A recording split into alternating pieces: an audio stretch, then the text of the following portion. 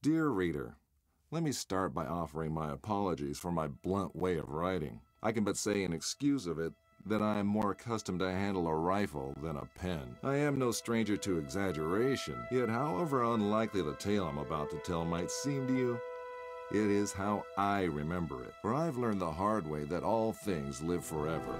Though, at times, they sleep A great name can be an even greater burden. My special talent to attract problems just kicked in again. Another thing it seems that I inherited from my famous ancestor.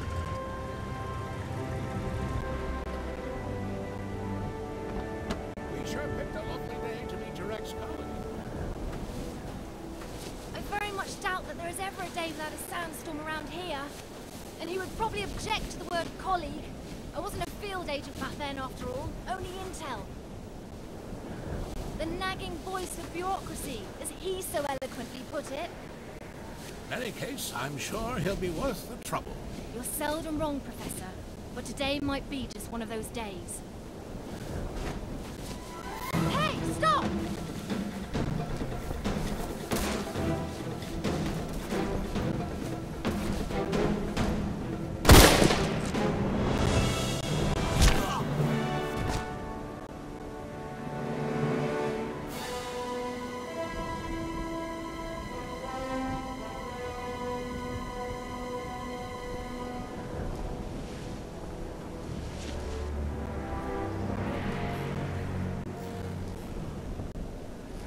You should pick your drivers more carefully around these parts.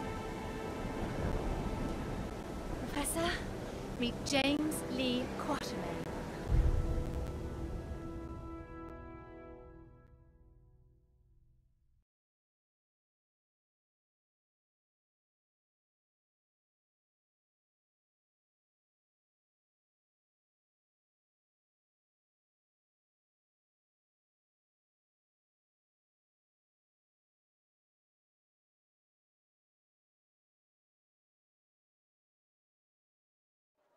So many books.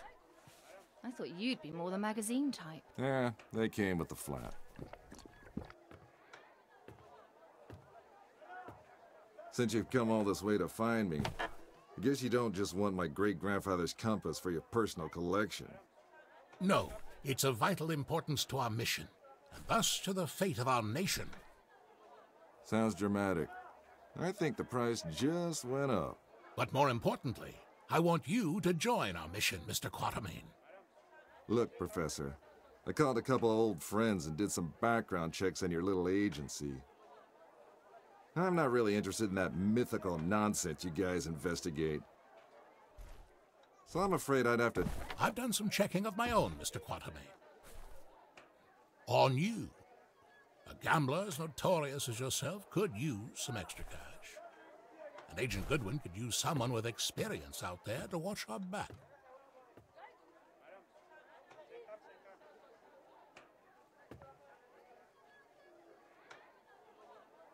Here, this belonged to your great grandfather.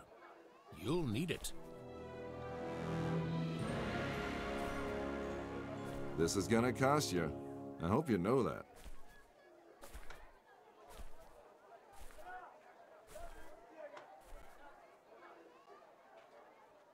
Oh, what the hell. Just let me finish my breakfast.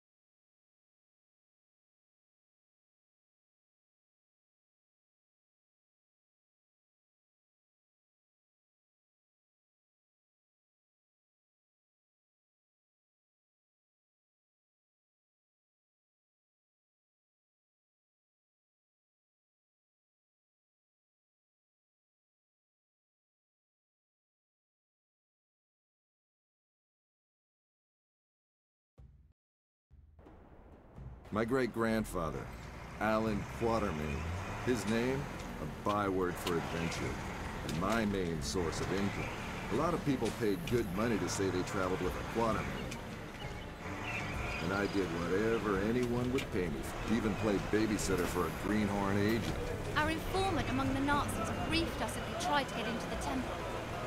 But failed to open the gate to the inner sanctuary. They left, but we're sure they will return. Where they failed, we have to succeed. Just remember the deal. I get you in, I get you out. And that's my role done. You get your artifact. Whatever else I find, I get to keep. Spoken like a true hero. Spoken like someone who's worked for Uncle Sam before. He considered all this to be a trap. Our informant's been leaking viable data to us under the alias Shepard for months now. We can trust him. Sure. If you say so. We have to be careful. You remember my driver? The Arab who tried to steal my bag? He was part of a tribe of thieves who believe Egypt's cultural heritage is theirs to plunder. When clearly, we all know that's Uncle Sam's job. We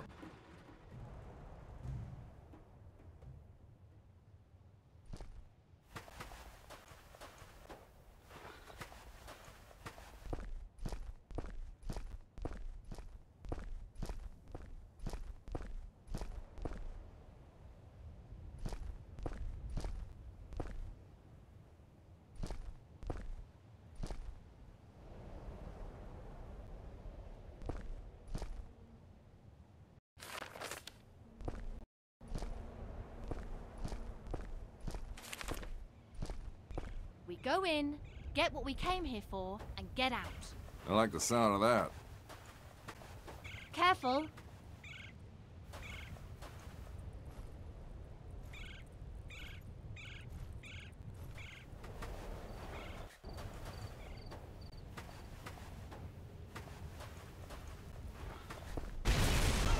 I don't like the sound of that.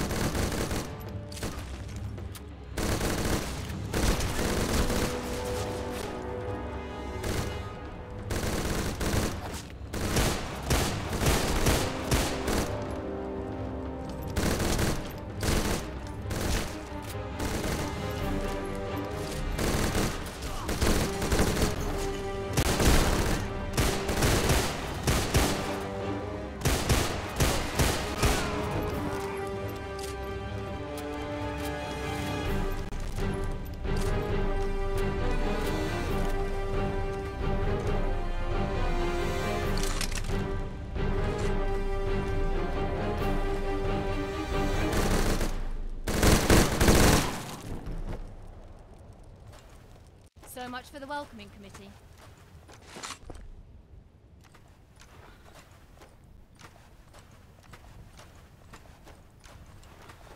I know you don't believe in any of this, but what's inside this temple might change that.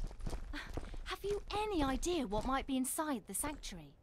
Only one of the most powerful artifacts to be found in the written histories of man the heart of Atlantis.